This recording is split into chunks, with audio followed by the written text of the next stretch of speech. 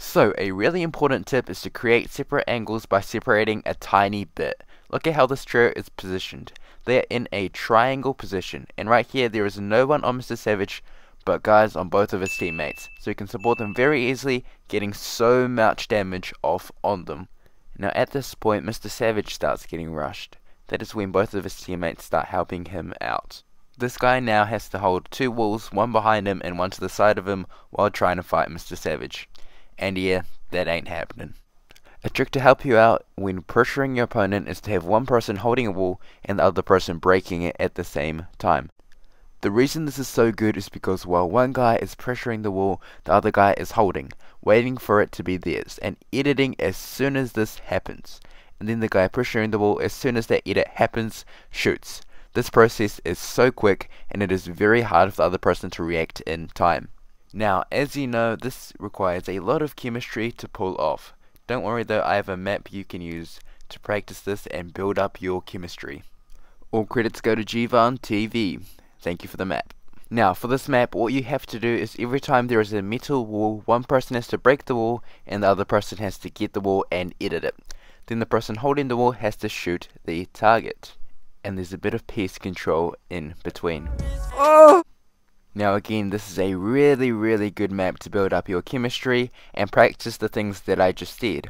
And I really haven't seen a map like this, so all credits go to Gvan TV. Another tip is to always stay one box away from your enemies at all times.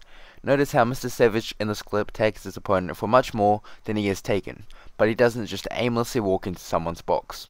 Now, I know some of you would have jumped in, but if the 200 IQ man himself isn't phasing in, you know it's a bad idea.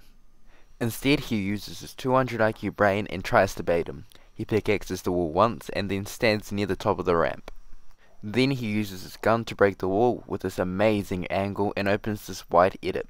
His opponents are panicking and Mr. Savage successfully does so much damage to his opponents while staying one box away and taking only 50 damage.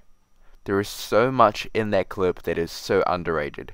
But the main thing I will talk about is this peek right here. This peek is such an underrated one, and it is one of the most safe ways to take a wall currently in the game. Now, a tip that I only see a few people doing is throwing your teammates. Obviously, in a tournament setting, once the team gets a knock, they want to get that finish so they can get the elimination point. This either leads to opponents spraying or rushing the box that they knocked you in for the loot and most importantly the elimination points. This is why carrying slash throwing your teammate is so good. If you carry and or throw your teammates, they don't know where you are. This is because you've completely moved from this place that you've been knocked. Right here in this clip, it's a perfect showcase of it in my opinion. He gets knocked over here, he recovers and throws it back over here where none of his opponents are and he easily gets the res off. If he tried to res erect in the place where he got knocked, I don't think it would have worked out for him.